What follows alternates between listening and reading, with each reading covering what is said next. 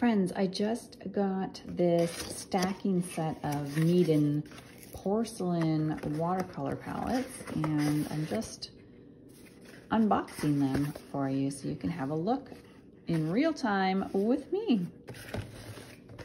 And what I wanted was a little palette that would be nice and compact and that would resist staining. So I'm hoping that these will do the trick. So they were really packed well. Um, and unlike a lot of the reviews that I was looking at uh, for ceramic or porcelain palettes, um, I can see that the bottom of this is really smooth and there are no chips, so the quality control looks really good. These are supposed to be easy to clean, non-staining,